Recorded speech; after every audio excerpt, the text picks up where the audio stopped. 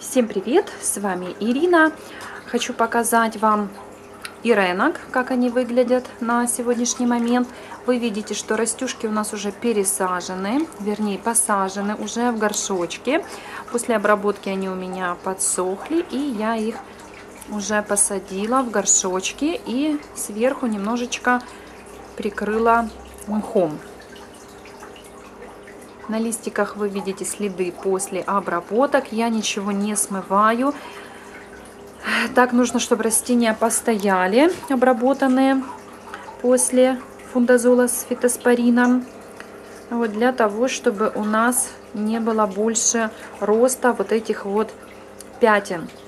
К сожалению, листики пришлось срезать я на вот этой орхидейке один листик все-таки решила была оставить, но смотрю, что этот все-таки вот бяка начала расти дальше, то есть пятна увеличиваются и увеличиваются. Они не хотели останавливаться даже в росте, поэтому все-таки, так как я и делала в предыдущих случаях с сиренками, нужно в обязательном порядке эти листики удалять. Там, где вы видите пораженные такие места, лучше их срезать. Да, немножко это будет выглядеть не эстетично, но тут мы уже из двух зол выбираем меньшее. И в первую очередь нам нужно спасти растюшку, поэтому если растение останется без одного листика, это не так страшно, как в случае, если мы можем вообще лишиться растения. Поэтому мне пришлось срезать пораженные места.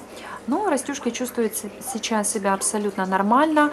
Нам нужно пережить еще одну обработку.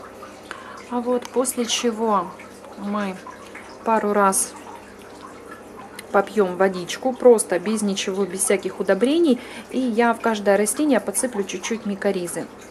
Вот. И после этого уже будем смотреть по состоянию. Если я увижу улучшение и погода нам позволит, ну тогда уже я отправлю Иренок к своим хозяюшкам, потому что все очень переживают, все очень ждут.